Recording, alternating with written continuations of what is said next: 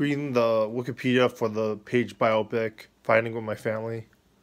I'm uh, concerned that there's too many WWF wrestlers cameos in general in the movie. What are your thoughts, like I'm scribe?